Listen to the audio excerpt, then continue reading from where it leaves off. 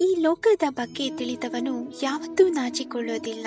ಹಾಗೆಯೇ ತನ್ನನ್ನು ತಾನು ತಿಳಿದವನು ಯಾವತ್ತೂ ಕೂಡ ಅಹಂಕಾರ ಪಡೋದಿಲ್ಲ ಸೋಲು ಅನ್ನೋದು ಮತ್ತೊಮ್ಮೆ ಪ್ರಯತ್ನಿಸೋದಕ್ಕೆ ಸಿಗುವ ಅವಕಾಶ.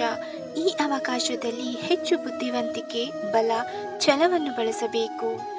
ಜೀವನ ಅನ್ನೋದು ಬಾಕ್ಸಿಂಗ್ ಮ್ಯಾಚ್ ಇದ್ದಂತೆ ಕೆಳಗೆ ಬಿದ್ದರೆ ನೀವು ಸೋಲೋದಿಲ್ಲ. ಆದರೆ ಮೇಲೆ ಏಳಲು ಸಾಧ್ಯವಾಗದೇ ಇದ್ದರೆ ನೀವು ಸೋತಂತೆ ಅರ್ಥ.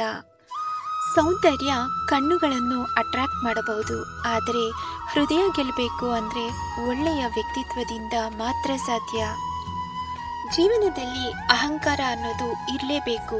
ಬೇರೆಯವರನ್ನು ನೋಯಿಸೋದಕ್ಕೆ ಅಲ್ಲ, ನಮ್ಮ ಸ್ವಾಭಿಮಾನವನ್ನು ಪರೀಕ್ಷೆ ಮಾಡುವವರಿಗೆ ಪಾಠ ಕಲಿಸೋದಕ್ಕೆ. ಜೀವನದಲ್ಲಿ ಅತ್ಯಂತ ಕಷ್ಟವಾದ ಕೆಲಸ ಯಾವುದು ಗೊತ್ತಾ? ನಮ್ಮವರಲ್ಲಿ ನಮ್ಮವರನ್ನು ಹುಡುಕೋದು. ಕಣ್ಣುಗಳು ತಮ್ಮನ್ನು ತಾವು ನೋಡಿಕೊಳ್ಳುವುದನ್ನು ಬಿಟ್ಟು ಉಳಿದ ಎಲ್ಲವನ್ನೂ ನೋಡುತ್ತೆ. ಹಾಗೆಯೇ ಜನರು ತಮ್ಮ ತಪ್ಪುಗಳನ್ನು ಬಿಟ್ಟು ಉಳಿದವರ ತಪ್ಪುಗಳನ್ನೇ ನೋಡ್ತಾರೆ.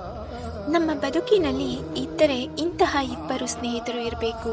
ಶಸ್ತ್ರ ಎತ್ತದೆ ಗೆಲುವು ತರುವ ಕೃಷ್ಣ ಹಾಗೂ ಸೋಲು ನಿಶ್ಚಿತವಾಗಿದ್ದರೂ ಕೈ ಬಿಡದ ಕರ್ಣ.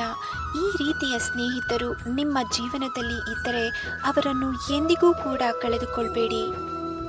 ನಿಮ್ಮನ್ನು ಯಾರಾದರೂ ರಿಜೆಕ್ಟ್ ಮಾಡಿದರೆ ಬೇಜಾರು ಮಾಡ್ಕೊಳ್ಬೇಡಿ. ತುಂಬ ಜನಕ್ಕೆ ಕಾಸ್ಟ್ಲಿ ವಸ್ತುಗಳನ್ನು ತೆಗೆದುಕೊಳ್ಳುವುದಕ್ಕೆ ಆಗೋದಿಲ್ಲ.